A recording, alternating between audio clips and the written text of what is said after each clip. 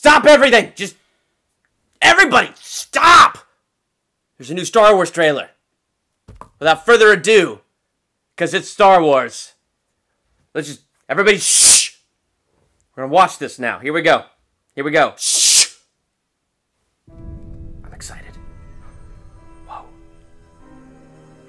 Ooh, I love the music. The world is coming undone. Of course it is. Across the galaxy. That looks so cool! The graphics in this. Can you be trusted without your shackles? Let's just get this over with, shall we? We've a mission for you. A She major surprised. weapons test is imminent. We need to know how to destroy it. I've already seen that footage, but I love it! If you're really doing this, I want to help. Good. He's got a crush on you, girl. You know that, right? I've been recruiting for the rebellion for a long time. We destroyed our home. I fight the Empire now. I fear nothing. All is Yeah!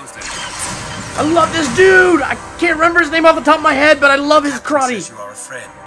Kung I Fu. will not kill you. Thanks. New droid. There we go. There isn't much time.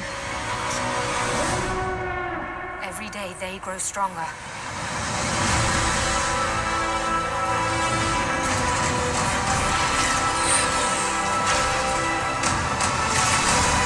There is a Why? 97.6% chance of failure. He means well. Oh, I get it. He's R2D too. but he's not really. He's the. You get what I mean. This is our chance to make a real difference.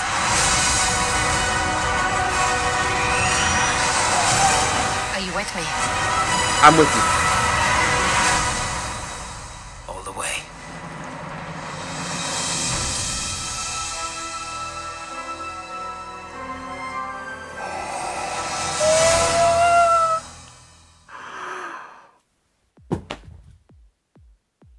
What can one say? Holy freaking cow, that looked good. Everything looked good.